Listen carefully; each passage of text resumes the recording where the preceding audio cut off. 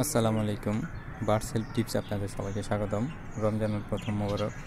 তো আজকে এই চ্যানেলে একটা ভিডিও নিয়ে আসছি। সেটা হচ্ছে, আজ হঠাৎ করে আমার এক ফ্রেন্ড জানতাম না ও আগে পাখি পালে, তো হুট করে আজকে দেখলাম।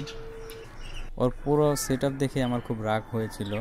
দেখুন, আপনারা, আপনাদের থেকে ভালো লাগবে। যেমন হাড়িটা দেখুন, একদম নিচে লাগিয়েছে। ওর সেট একদমই ভুল।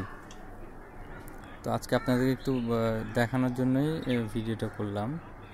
আসলে পাখির সেট করতে হলে এর আগে পাখির সেট নিয়ে পাখির কেজের সেট নিয়ে একটা ভিডিও করেছিলাম, আপনারা দেখে নেবেন।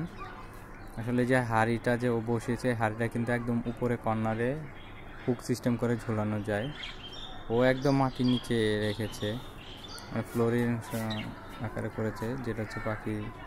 আবার দেখুন, বাচ্চাগুলো বড় হয়েছে, নিজে নিজে খেতে পারে, তারপরেও কিন্তু ও সেট ঠিক নাই। বাচ্চাগুলো ওখানে রেখেছে। তোকে পর আমি একটা ভালো টিপস দিয়ে আসলাম। তো এটার সেকেন্ড পার্ট দেখার জন্য অপেক্ষা থাকুন।